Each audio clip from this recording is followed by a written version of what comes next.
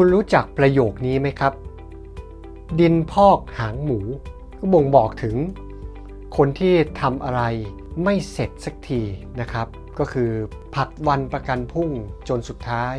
มันก็เลยพอกพอกพอกเป็นดินก้อนใหญ่ เหมือนดินที่พอกหางหมูไว้ วันนี้ผมจะมาบอกวิธีการจัดการดินพอกหางหมู โดยเฉพาะถ้ามันเป็นเรื่องการทำงานของคุณ นะครับ คุณจะได้ทำงานได้อย่างมีประสิทธิภาพมากขึ้นครับ สวัสดีครับ ผมวรัตพลเลชตานามวงนะครับสำหรับการที่ทำงานอย่างไรให้มีประสิทธิภาพนั้นนะครับ สิ่งหนึ่งที่คุณควรจะต้องพัฒนาเลยก็คือ อย่าทำงานแล้วให้มันเหมือนดินพ่อกหางหมูนะครับ เพราะว่ามันจะไม่มีประสิทธิภาพ นะครับ แล้วก็ได้ผลลัพธ์ที่น้อยมาก เดี๋ยวผมจะเขียนให้คุณได้เห็นเลยนะครับว่ามันควรจะทำแบบไหน คุณถึงจะลดดินพอกหางหมูจนแบบว่าไม่มีดินมาพอกหางหมูอีกเลยนะครับ ปกติดินพอกหางหมูเป็นไงฮะ อาจจะพลาดรูปหมูไม่สวยนะ โอเค ดินพอกหางหมูนะฮะ เริ่มแรกก็คือมันอาจจะพอกอยู่นิดเดียวครับมาอย่างนี้ก็เห็นมันมันไม่เยอะใช่ไหมฮะ เห็นมันไม่เยอะก็เปรียบแล้วก็เหมือนงานนะครับที่คุณเห็นแล้วมันก็ยังไม่ต้องทำก็ได้อะมันมันไม่เยอะ แล้วมันก็เริ่มพอกมาอีกนิดนึง ก็ดูแล้วก็ยังไม่ค่อยเท่าไหร่ถูกไหมฮะ มันก็ยังแบบเออโอเค เดี๋ยวค่อยทำก็ได้แหละนะครับ แล้วมันก็มาเรื่อยๆฮะ อ่าอันนี้ก็โอเค เอ๊ะแต่เริ่มเยอะ แต่ก็ไม่เป็นไร เดี๋ยวก็ทำก็ได้นะฮะ แล้วมันก็มาอย่างนี้ฮะ แล้วมันก็มาเรื่อยๆครับ คุณก็ไม่ทำสักทีแล้วมันเกิดอะไรขึ้นครับ มันพอกมาเรื่อยตลอด ในระยะเวลาที่เท่ากัน แต่ของอะไรที่มันมาสม่ำเสมอทุก ๆ เรื่องนะ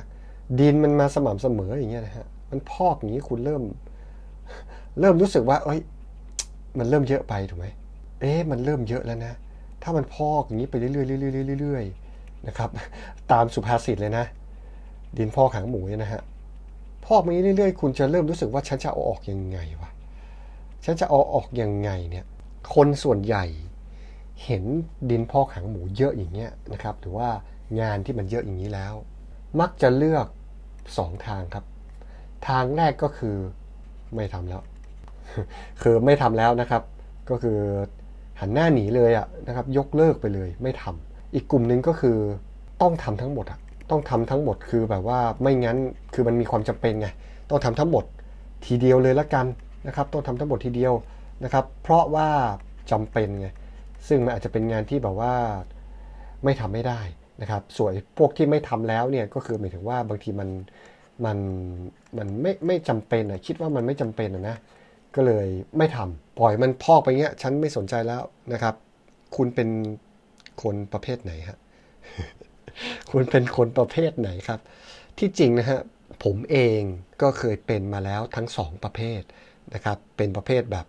โอ้เห็นนี้ปุ๊บฉันไม่ทำดีกว่านะครับ เลิกไปง่ายที่สุดถูกไหมเลิกไปไม่สนใจไอ้หางไอ้หมูตัวนี้ไอ้หางเนี่ยก็ไม่สนใจปล่อยมันไปไหนก็ไปเลยนะฮะก็ก็เป็นวิธีที่ง่ายดีนะครับ แต่ว่า ส่วนใหญ่ไอ้ตรงเนี้ยนะครับ มักจะเป็นไอ้ตอนที่ตอนที่เป็นเด็กๆมากกว่านะครับเป็นเด็กๆ เป็นวัยรุ่นอย่างเงี้ยนะครับ เพราะว่าไม่ค่อยมีความรับผิดชอบเท่าไหร่นะครับพอมันเป็นอย่างนี้ปุ๊บก็ไปให้คนอื่นจัดการให้นะครับ ให้พ่อแม่จัดการให้ให้ครูจัดการให้ให้อาจารย์นะครับ ให้เพื่อนๆช่วยจัดการให้ การบงการบ้านรายงานหรือว่าอะไรเนี่ย ผมก็ให้เพื่อนจัดการนะเมื่อก่อน ก็คือมันมันก็ได้ไง ก็คือขี้เกียจเด็กๆวัยรุ่นไม่ไม่ไม่มีความรับผิดชอบเท่าไหร่ แต่เดี๋ยวนี้มันถ้าเกิดว่าคุณคุณฟังผมอยู่ตอนเนี้ยส่วนใหญ่ก็น่าจะไม่ใช่วัยรุ่นแล้วนะหรือว่าถ้าเป็นวัยรุ่นอยู่ผมก็จะมาแนะนำวิธีนั่นแหละ คุณจะได้มีประสิทธิภาพในการใช้ชีวิตประจำวันได้ดีขึ้นนะครับ แล้วก็ผลงานจะออกมาเยอะขึ้นนะเนี่ยทีนี้นะครับปัญหาของคนที่ต้องทำหมด ในทีเดียวนะครับ ซึ่งผมก็เคยเป็นนะ ต้องทำหมดในทีเดียว ก็จะเกิดขึ้นว่ามี2ออย่างครับ 1 ก็คือไม่ไม่อยากทำอะนะครับ เพราะคุณเห็นเป็นก้อนอย่างเงี้ยนะครับ มันเยอะเกินก็รู้สึกว่ามันมันมันทำไม่ได้อะไม่อยากทำเพราะทำไม่ได้นะครับ เพราะต้องการจะทำทั้งหมดไงทำทั้งหมดทีเดียวไงนะครับ แบบที่ 2 ก็คือทำได้ครับ แต่เกิดเลยขึ้นครับ เครียด นะฮะเครียดแบบโคตรอะเครียดโคตรแล้วกันขอโทษนะ เครียดโคตรนะฮะเครียดโคตรโคตรเครียดหรือเครียดโคตรนั่นแหละก็คือแสดงให้เห็นถึงความว่ามันตอนแรกทำทีละอัน 2 อันไม่ทำไงมันมาเป็นที 10 20 อัน ปุ๊บนะครับ ไม่ได้หลับไม่ได้นอน คนไม่ได้หลับไม่ได้นอนติดติดกันหลายวันก็เครียดไงดังนั้นปัญหาก็คือมันจะเป็นอย่างนี้ แต่ที่จริงผมมีนะฮะผมมีวิธีที่จะ จัดการกับพวกงานที่มันพอก หรือว่าอะไรก็ตามที่คุณต้องทำแล้วมันพอกอย่างเงี้ยนะวิธีที่ดีที่สุดเป็นอย่างนี้ครับ แทนที่คุณจะไปทำทั้งหมด คุณก็แบ่งออกมาฮะแบ่งออกมาทำปกติทุกวันทุกวันที่ควรจะทำก็ไม่ยอมทำขี้เกียจใช่ไหมปกติมันต้องทำวันละวันละก้อน 2 ก้อนอย่างเงี้ยนะสมมตินะ ดินก้อน 2 ก้อนเนี่ยมันต้องทำแต่ทีเนี้ยมันไม่ทันแล้วเพราะว่าขี้เกียจมาหลายวันนะครับ ดังนั้นแทนที่จะทำวันละก้อน2ก้อนคุณก็ไปทำ วันละ4ี่ห้าก้อนนะครับ ก็ไม่ต้องถึงกับว่าอยากจะไปทำทั้งหมดทีเดียวนะครับ มันทำไม่ได้ คุณคิดดูนะคุณทำวันละ4ี่ห้าก้อนนะครับวันนี้อาจจะ 4 วันนั้นอาจจะ 5 แต่คือยังไงก็คือต้องมากกว่าวันปกติที่ก้อน 2 ก้อนนะครับเพราะไม่งั้นเพราะไม่งั้นเกิดอะไรขึ้น ของใหม่จะเข้ามาอีกไงเพราะปกติของใหม่ไม่จะเข้ามาวันละก้อน 2 ก้อนอยู่แล้วถูกไหมฮะ ของใหม่มันตามทยอยที่จะเข้ามาเรื่อยๆเรื่อยๆวันละก้อน2ก้อนอะมันมันไม่ได้บอกว่าพอกอย่างนี้แล้วมันจะหยุดใช่ไหมครับเพราะมันเป็นงานส่วนใหญ่จะเป็นงานที่แบบว่าประจำวันหรือว่าอะไรสักอย่างเป็นโปรเจกต์หรือสักอย่างที่แบบว่ามันมันต้องทยอยเข้ามาเรื่อยๆนะฮะดังนั้นถ้าเกิดคุณไปทยอยเก็บแค่ก้อน 2 ก้อนอย่างเงี้ยนะฮะอันเก่ามันก็จะมันก็จะดูอยู่แล้วลักษณะมันก็จะเป็น ก้อนโตอย่างนี้เหมือนเดิมเพราะคุณไปเก็บก้อนสองก้อนอันเก่าก้อนสองก้อนอันใหม่ก็มานะครับดังนั้นคุณต้องเก็บอย่างเงี้ยสี่ห้าก้อนสี่ก้อนเงี้ยคือถ้าไปเก็บเยอะกว่านี้มันก็ไม่ได้ไงเนี่ยคุณก็เก็บไปเรื่อยๆ เพื่อไปทบกับไอ้วันที่คุณไม่ได้ทำไงคุณคุณขี้เกียจมากี่วันล่ะ มันจะทำหมดเมื่อไหร่ขึ้นอยู่ว่า ขี้เกียจมาแล้วกี่วันนะฮะขี้เกียจมาแล้วกี่วัน คุณก็ต้องทำทบตามจำนวนวัน นะครับตามจำนวนวันที่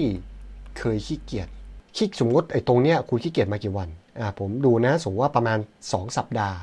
นะครับคุณก็ต้องไปทบอย่างเงี้ยสี่ห้าครั้งเออสี่ห้าก้อนเนี่ยในจำนวนที่เท่ากันก็คือ 2 สัปดาห์นะครับขี้เกียจ2 สัปดาห์ ก็ต้องทำทบคูณ2เนี่ยนะไปอีก 2 สัปดาห์นะครับ คูณ 2 ก็คือพอประมาณนะนะ ถ้าเกิดคูณอย่างที่ผมบอกคูณไปคูณ 3 คูณ 4 คูณก็เครียดอะนะครับ คูณ 2 นี่ก็กำลังพอดีคือมันจะแบบว่าตึงๆตึงๆหน่อยนะครับก็เนี่ยแหละก็คือมันก็ทดแทนกันได้นะครับนี่ครับก็คือเทคนิคที่ผมเองก็ใช้อยู่นะครับเพราะว่ามันไม่มีวิธีไหนที่ดีกว่านี้แล้วนะครับเพราะว่าไปเอาทีเดียวมันก็ไม่ไหว ถ้าไม่ทำเลยก็ไม่มีความรับผิดชอบ นะครับมันเป็นงานที่คุณต้องรับผิดชอบ เสร็จปุ๊บพอหลังจากนะครับที่คุณเคลียร์อย่างครบสมมติว่าคุณขี้เกียจมาสองสัปดาห์แล้วคุณเคลียร์งานไปสองสัปดาห์เสร็จแล้ว ต่อไปคุณก็ไม่ต้องทำอีกแล้วนะอย่างเงี้ยนะครับคุณก็ทำให้มันเสร็จทุกวันทุกวันทุกวัน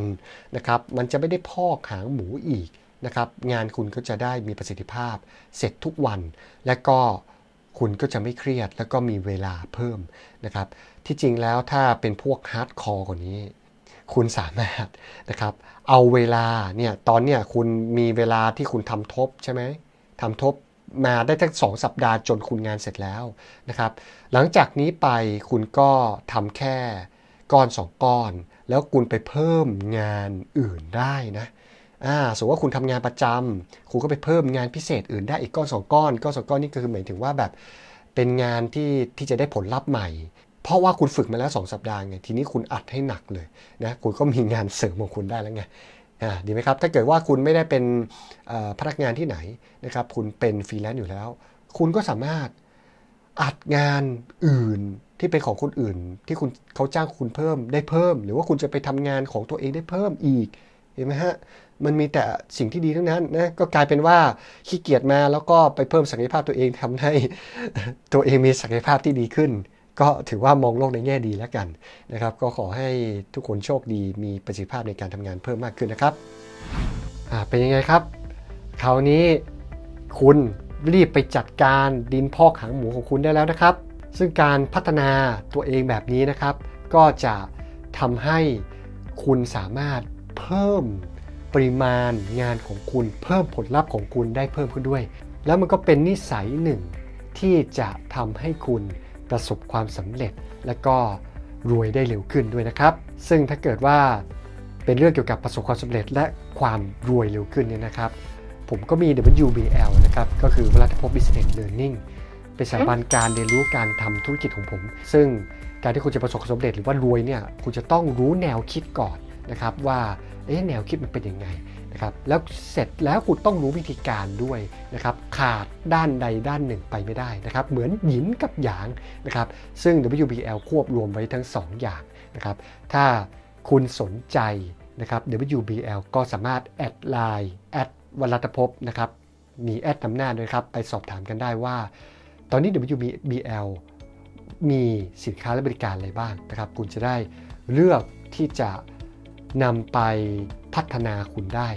สำหรับใครชอบวิดีโอนี้นะครับ ก็อย่าลืมกดไลค์นะฮะและอย่าลืมกด Subscribe และกระดิ่งแจ้งเตือนด้วยนะครับ กระดิ่งแจ้งเตือนสำคัญมากนะครับ เพราะว่าผมมีวิดีโอทุกวัน คุณจะได้ไม่พลาดวิดีโอคอนเทนต์ดีๆนี้นะครับสำหรับวันนี้เท่านี้ก่อนครับ แล้วเจอกันใหม่วันพรุ่งนี้ครับ สวัสดีครับ